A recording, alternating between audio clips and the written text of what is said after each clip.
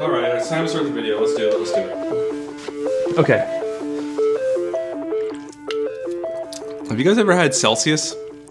Focus. There it is.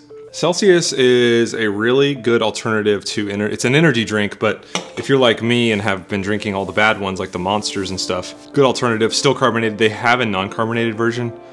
Disgusting, tastes like juice, so you do not want that. But you don't care about that, that's not why you're here. This video is about the Sony K3M. I'm gonna get to that in just a second, but I'm gonna explain to you why I purchased this device for the A7R4. I have been a working video professional for, for a number of years now. I also do photography, which is why I have these hybrid cameras like the a7 III that I'm recording on right now and the a7R4, which I recently just purchased because Sony still hasn't announced the a7S III and I'm saving up for the FX9, which is gonna be about a $15,000, $20,000 investment when it's all said and done. So I decided to pull the trigger on this A7R4, but then I, I, remember whenever they announced this A7R4 that they they were announcing a that, it has a dig, more more pins in the hot shoe so that you can get devices like this K3M that will just give you direct digital audio baked right into your SD cards, well, right into your files. For me as a working professional, I'm always trying to find things that are durable, dependable, that I, I know whenever I need to go to it, I, it's just gonna work and it's gonna make my workflow simpler. I, of course, use the H6, who doesn't have a, an H5, H4n, something like that. Yes, I understand this, but whenever I, I can now go to an interview shoot and I do not have to bring another device with its own batteries and then worrying about battery life and those kind of things. That's one less thing. And whenever I get back to edit, it's one less thing I have to do. Uh, even though as easy as it is to sync audio and video these days, it's nice to just have it built directly into my SD. This is a C200. This is a cinema camera. This has a Super 35 sensor and all that. Similar, not similar, but similar in the fact that it's a cinema camera to the FX9 that I'm trying to save up for. But when it comes to audio on these kind of cameras, if you've never used them before, they typically have built-in XLR inputs. For me, what that means is it gives me versatility, it gives me options, it gives me safety. So I, for documentary setup, I might have this thing set up with a boom mic right here, and then I might have a lavalier mounted to it in input two. So input one boom mic, input two lavalier, and, and I throw the lavalier on whoever it is maybe I'm following around. And now I've got two sources of audio.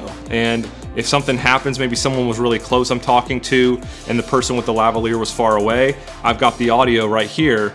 Or maybe there was something wrong with the lavalier audio whenever I was talking to the person with the lav on.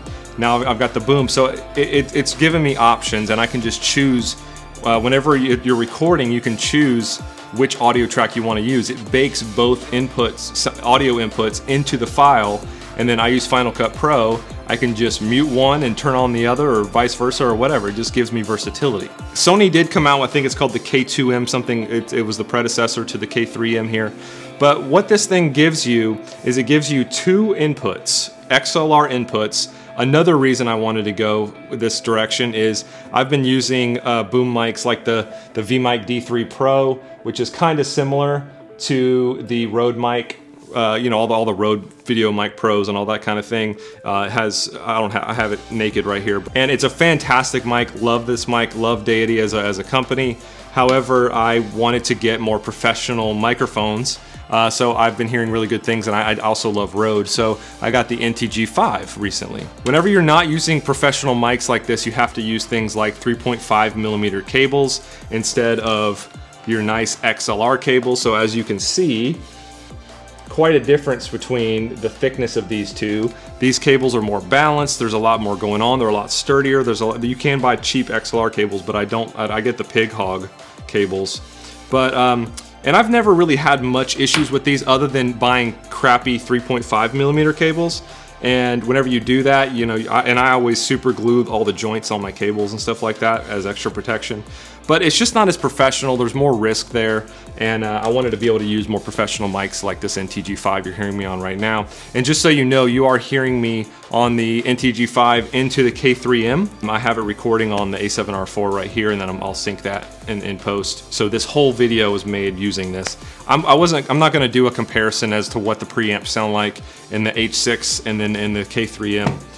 Um, it, it, sounds good. Don't you're not going to notice a difference, so there's no point in me doing that. And it's definitely going to sound better than the preamps that are built into to the cameras because everyone knows the cameras do not have good preamps built in. With this device, I can be sitting on set and I can have two channels of audio being baked into my video files and I can get back to my computer and choose which one I want to use. So maybe I, you know, make sure you're always monitoring your audio while you're doing interviews. But I maybe there was an issue with the boom mic or something like that, and then the, the lavalier didn't didn't have that issue. So I can just choose to use that. And if you know how to EQ your audio, you can kind of make them sound a little bit similar. But it's a, it's a safety because maybe you're interviewing somebody and it's a really raw moment, something emotional and then you don't want to have the audio screw up. As we know, audio is 50% of our job. Don't overlook your audio. You have to make sure you're putting in the work and just as much attention to detail with your audio as you are with the video. We all love lenses and camera bodies and all these kind of things, but you gotta be paying attention to your audio because you can forgive crap video way faster than you can forgive crap audio. The K3M also comes with this nice condenser microphone, the ECM XM1. I haven't looked up how much this might cost. I've heard from other videos that this is a pretty good microphone. Um, and the reason I'm making this video, by the way, is because I didn't see any a comprehensive review of this K3M like me as a video professional would want to see. So I hope this is helping you.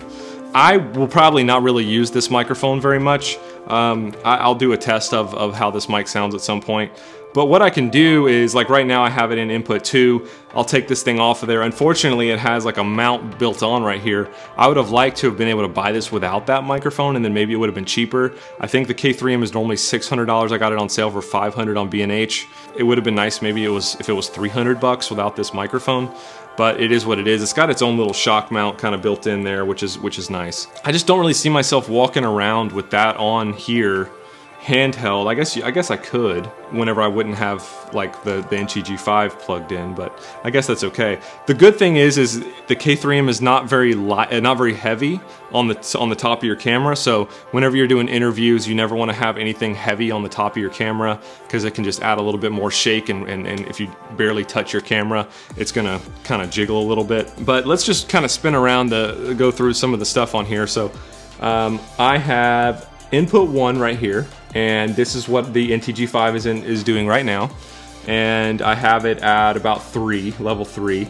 And I, on, my, on the back of my camera, I'm actually getting, it looks like I'm about negative 12. And then up here I have 0 dB, 10 dB, 20 dB. So if I wanted to add some more gain to the to the mic if I ever needed that. In my career I've never needed to do that, but you know, it is what it is. Right here we have line, mic, and then mic plus 48 volts. The NTG5 needs plus 48 volts, phantom power. Manual, never put your audio stuff on auto. Even the C200 on the back, you can slide the little switch up on there and put that in auto. All auto is gonna do is try and get the best audio for what it's hearing. So that means it's gonna have to raise the volume of the entire room in order to capture your voice better. So you wanna control that volume. You don't wanna let the camera do that. So never put these things in auto unless you just really don't know what you're doing. Uh, moving over, input two, the exact same. I have it on link right now. And what that means is my the NTG5 is being put into two, channel one and channel two. So whenever I get back to my computer, I don't have to do dual mono or anything like that. I'm just getting a stereo signal right now. But I could slide this up into manual and then input one and input two would be its own separate things. It, or I, if I had, I would be recording the this condenser mic on the top separately than the NTG5, but I didn't need to do that for this video. But if I were, to, let's say that where this condenser is was a lavalier, I would have that separately and it, they would be recording separate and I can choose in post which one I wanted to use. Plus 48 on that one as well. And then over here, you can put your low cut on. So input one off, input two off, but you can go all, all from uh, 100 Hertz, 300 Hertz on both. I typically don't really do that. I just fix it in post, but maybe Maybe I'm wrong if you are more of an expert than I am. And then right here we have input three. Input 3 is a 3.5 millimeter. So if you do have a need to use 3.5 millimeter, it's right here on the side of the K3M. So right here, hopefully you can see that. I'm looking on my monitor. Right here is a little, there's a little 3.5 millimeter. Now the thing is to remember is that you cannot record three channels at the same time. So what you can, let me spin around, this will be a good opportunity to talk about that. So right here we have input one, input one and two, or input three. So typically doing the dual recording like I've been talking about, I would slide this up to input one and two. Um, I'm not doing that right now again, I'm, since I'm just using the NTG5. But then, uh, so I have it in input one, or you can choose input three, so you'll only be able to record input 3 by itself and not with anything else. Right here is digital and analog and what that means is since this hot shoe has a digital receiver in it, that the, the Sony a7R4 and the Sony a9 II I believe have this digital hot shoe so that your audio can pass directly through and go right in digitally. But the K3M is backwards compatible so I could put this on the a7 III what I'm recording on right here and I can still use it. I would just flip this, this dial down to analog. The K3M might not be right for you. Maybe look for the K2M and see how much that costs right now. I believe it's kind of the same except it just doesn't have that digital switch right there. But I think you'll, you'll be able to get your two inputs. This is just something to consider for you as, as someone who is a professional and maybe you're like me and you can't afford a cinema grade camera yet. I cannot wait until I can get the FX9. Every single person that posts reviews and stuff of the FX9 I watch them. Make sure you check out Philip Bloom's like two and a half hour review of the FX9. What a camera. But until I can, I'm just doing buying things like this to increase my professionalism and hopefully be able to afford that whenever I need to. But it's great that we live in a time like this where we have so much available to us like with technology and with cameras and stuff like that. Right now, you can go to Best Buy, buy A7R4, A7 III, whatever camera, and go out and start making money with it. As long as you know what you're doing, that's all I did.